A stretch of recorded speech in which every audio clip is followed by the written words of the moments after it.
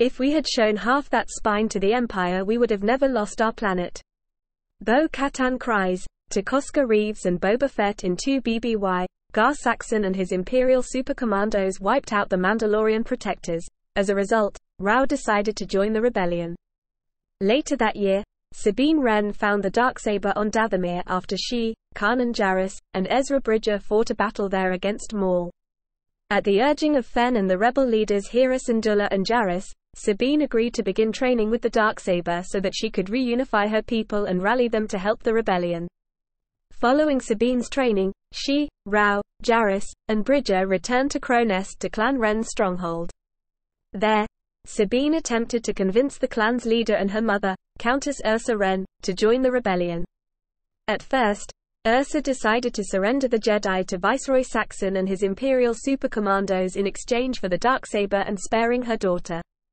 When Saxon branded her and Clan Wren enemies of the Empire, Ursa and her son Tristan fought Saxon and commandos alongside Rau and the Jedi. When Saxon tried to kill Ursa with the Darksaber, Sabine took Bridger's lightsaber and fought Saxon. Sabine was then able to reclaim the Darksaber and subdue Saxon. When Saxon tried to shoot Sabine, he was killed by Ursa. His death created a power vacuum among the Mandalorians.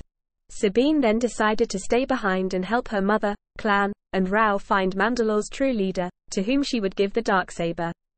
Soon afterward, Bridger returned to Krownest, having escaped from the Battle of Atollon, to request help from Clan Wren for the rebels against Grand Admiral Thrawn, who was attacking the rebel base on Atollon.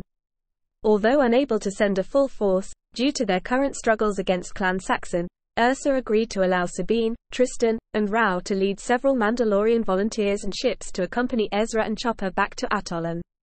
The Gauntlet and several Fang fighters traveled back to Atollon, where they destroyed the interdictor vessel that was preventing the rebels from escaping.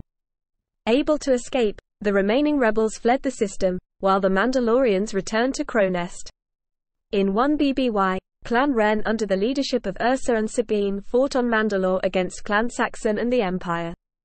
At some point during the Mandalorian Civil War, Sabine and her younger brother, Tristan, arrived at the statue of Tar Vizsla and discovered that the Empire had built an outpost situated on it. Sabine and Tristan destroyed the outpost and restored the statue to its original state. Clan Wren was joined by several other factions and clans including the sole journeyman protector Rau, Lady Bo Katan's clan Kryze, Clan Vizsla, Clan Rook, and Clan Eldar. Sabine and the Rebel Alliance's Spectres Jarrus and Bridger also attacked an Imperial prison hoping to find Ulrich Wren, although Ulrich had been moved.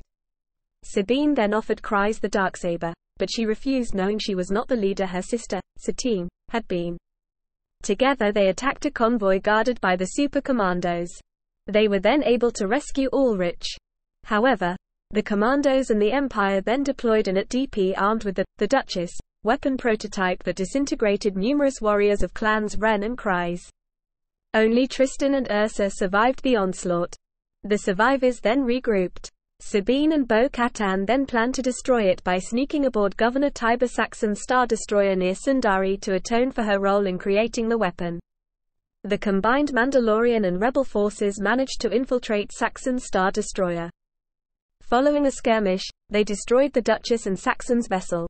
After the battle, Lady Bo Katan assumed the dark saber and the mantle of leadership over the Mandalorian clans. The Vizslas, Wrens, Kryzes, Rooks, Eldars, and the sole remaining protector, Fenn Rau, pledged allegiance to the new Mandalore. Kryze's reign as Mandalore was short-lived, and the Empire started the Great Purge of Mandalore, killing millions of Mandalorians. During the Purge, Mandalore was heavily bombed in the Night of a Thousand Tears. The children of the Watch avoided the purge, as they were cloistered on Concordia. The Darksaber was taken by ISB officer, Moff Gideon. The Rebel Alliance would also receive help from the old Mandalorian faction, with a battalion of Mandalorians led by Vera Baroya aiding rebel forces against an Imperial task force led by Ralchio Nervi during the Battle of Zorn.